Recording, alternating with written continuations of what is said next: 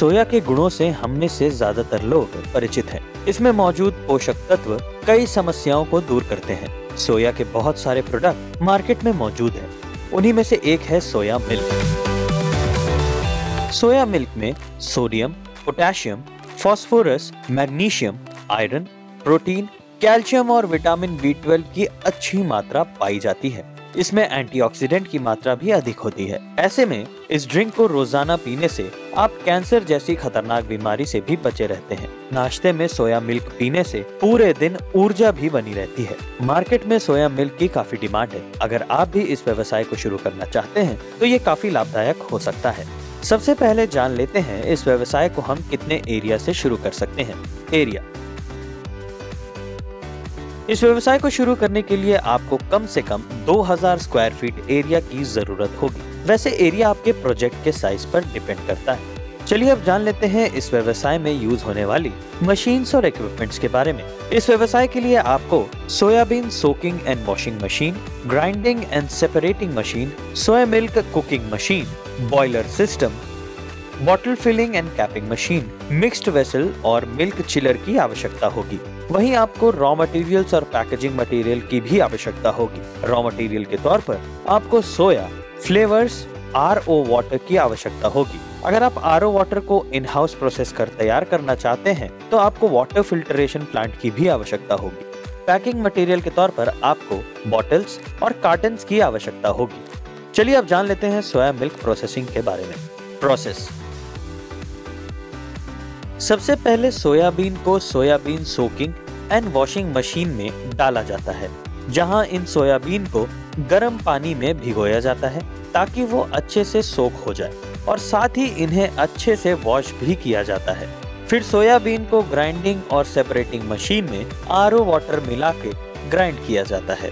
साथ ही ये machine soya milk और ओकरा को अलग भी कर देती है। ये मिल्क एक टैंक में जमा हो जाता है। फिर इसके बाद सोया मिल्क को सोया मिल्क कुकिंग मशीन में ट्रांसफ़र किया जाता है। इसके बाद बॉयलर से कुकर में स्टीम दी जाती है। मिल्क को 100 डिग्री सेल्सियस टेम्परेचर पर लाया जाता है ताकि सारे बैक्टीरिया और सोया मिल्क के अंदर की एंजाइमेटिक एक्टिविटी रुक जाए। फिर कुकर से दूध को बाहर निकाला जाता है। अब आपका सोया मिल्क तैयार हो जाता है। अगर आपको फ्लेवर्ड सोया मिल्क बनाना है तो शुगर, फ्लेवर और सोया मिल्क को मिक्सर वेसल में डाला जाता है और अच्छे से मिक्स किया जाता है। फिर दूध को चिलर मशीन में ठंडा किया जाता है। अब तैयार milk filling and capping machine use करके पैक किया जाता है। अब आपका प्रोडक्ट मार्केट के लिए बिल्कुल तैयार है। Power requirement. जहाँ तक बात है इस व्यवसाय के लिए पावर रिक्वायरमेंट की तो इस व्यवसाय के लिए आपको 10 किलोवाट इलेक्ट्रिक लोड की आवश्यकता होगी। मैन पावर इस व्यवसाय को स्मॉल स्केल पर 10 से 12 वर्कर के साथ शुरू किया जा सकता है। जिसमें ऑपरेटर स्किल्ड और अनस्किल्ड वर्कर शामिल है।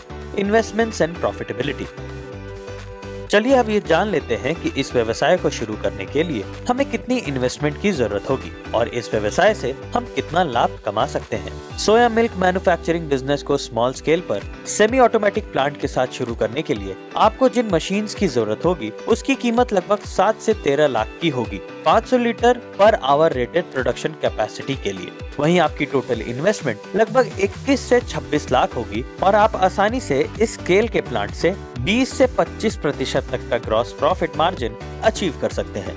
ये लागत और प्रॉफिट आपके प्रोजेक्ट के साइज़ और प्रकार जैसी की फुल्ली ऑटोमेटिक या सेमी ऑटोमेटिक प्लांट पर भी डिपेंड करती है। लाइसेंस इस बिज़नेस में आपको कुछ लाइसेंस की ज़रूरत होगी। साथ ही साथ, आप कुछ स्कीम का भी लाभ उठा सकते हैं, जैसे लाइसेंस में F S S A I G S T उद्यम factory licence NOC from fire safety and pollution control board trademark राष्ट्रीय खाद्य प्रौद्योगिकी उद्यमशीलता एवं प्रबंधन संस्थान निफ्टेम खाद्य प्रसंस्करण एवं उद्योग मंत्रालय, भारत सरकार के अधीन खाद्य प्रसंस्करण एवं प्रबंधन के क्षेत्र में कार्यरत अनुसंधान एवं शिक्षा का केंद्र है। शिक्षण एवं शोध के अतिरिक्त संस्थान छोटे एवं मझौले उद्योगों की मदद के लिए भी कार्यरत है। भारत सरकार के खाद्य प्रसंस्करण उद्योग मंत्रालय द्वारा हाल ही में प्रधानमंत्री सूक्ष्म खाद्य उद्यम उन्नत योजना पीएमएफएमई प्रारंभ की गई है खाद्य प्रसंस्करण उद्योग मंत्रालय का ये प्रयास रहता है कि वह उद्यमियों के लिए इस क्षेत्र में सहायता प्रदान करने हेतु विभिन्न योजनाओं से उद्यमियों को अवगत कराएँ। पीएमएफएमई योजना के तहत अपने उद्यमों को बढ़ावा देने के लिए योजना बना रही माइक्रो खाद्य प्रसंस्करण उद्यम परियोजना लागत के 35 प्रतिशत पर क्रेडिट लिंक्ड कैपिटल सब्सिडी का लाभ उठा सकते हैं प्रति उद्यम अधिकतम सब्सिडी 10 लाख रुपए तक हो सकती है। लाभार्थी का योगदान न्यूनतम 10 प्रतिशत होना चाहिए और शेष राशि बैंक से ऋण होनी चाहिए। यह योजना 35 प्रतिशत क्रेडिट लिंक्ड अनुदान के साथ संपूर्ण मूल्य श्रृंखला के साथ पूंजी निवेश के लिए एफपीओ, एसएचजी, निर्माता सहकारी समितियों को सहायता प्रदान करेगी।